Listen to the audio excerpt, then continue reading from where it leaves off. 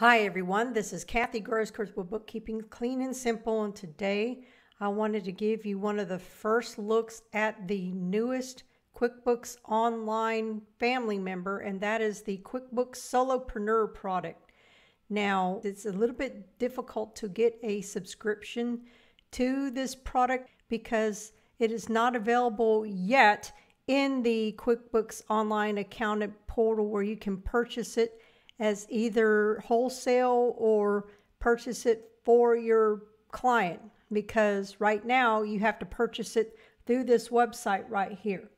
So basically, this product, from what I am understanding, is going to be replacing QuickBooks Self Employed. Now, if you are already using QuickBooks Self Employed, then you need not worry about doing anything at this time. There's still a lot of unanswered questions as to whether or not the people that are on QuickBooks Self Employed will be converted over to solopreneur or how all that is going to work out. I would imagine in the coming weeks we'll probably get answers to some of these questions.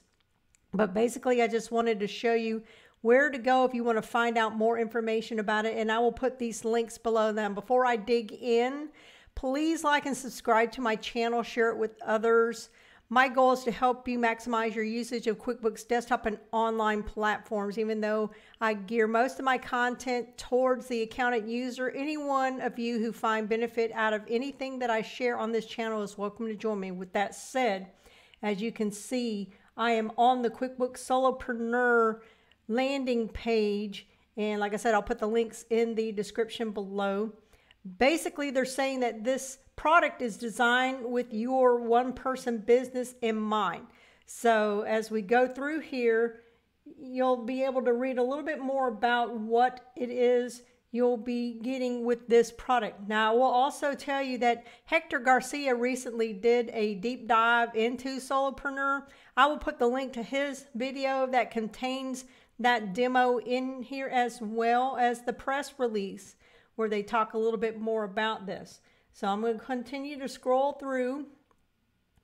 And basically, it's similar to what you have with self employed. I think the main thing that they were trying to solve with this product is that if you ever outgrow the solopreneur product, then it's designed to be easily upgradable to one of the other QuickBooks SKUs. So, like I said, you can't really do it right now through the accountant portal, and none of this stuff is available through the accountant portal. But if we go down and continue to go down, you'll see where they talk a little bit more about the pricing. Now, the pricing is actually not too bad. If you're buying this, like I said, this is the only way that you can buy it. You cannot buy it through the ProAdvisor portal or anything like that. So you can't purchase it as an accountant user or through any of those avenues at this time. But they're marketing this as being $20 a month and you can save $10 for the first three months. And then also, if you flip this switch here, you can actually prepay for a whole year at $120. So if you're not using self-employed right now, and you are a Schedule C company and want to track all your Schedule C stuff, it, it would be worth trying it out. And if nothing else, you should be able to go into and upgrade it from there. And again, there's too many other unanswered questions. So I might end up doing a follow-up video to this at some point. Well, anyway, I'm hoping this will help you today. Y'all take care and we will see you very soon.